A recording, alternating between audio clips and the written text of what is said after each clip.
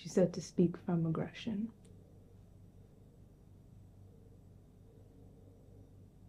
I've expelled all of it. I'm done. To speak to you from aggression would mean to speak to you like I care. And I don't. I don't give a fuck anymore. I don't even know if I like you. I just know that whatever love I have for you is the only reason why I'm even talking to you right now because I just want to crawl into myself and disappear for a good little while. I refuse to dignify that. How dare you? I'm so stupid.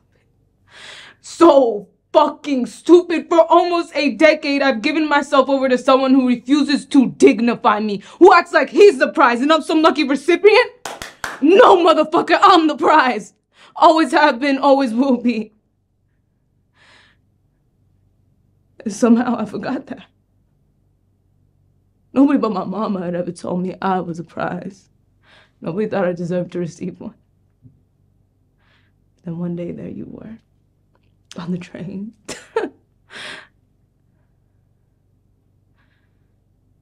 and receiving your gift. Felt like a type of reciprocation, like you were receiving me as a gift too, but you weren't.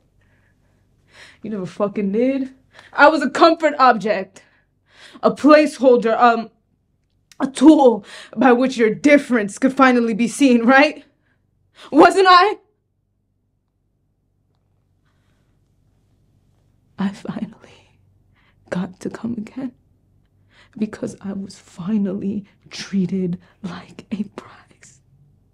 And your difference no longer gets to be defined by your proximity to me, and you can't stand that. That's why you don't need to dignify me because here, I don't have any worth to you.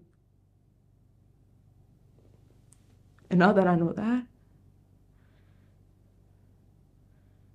I don't think you have any worth to me either.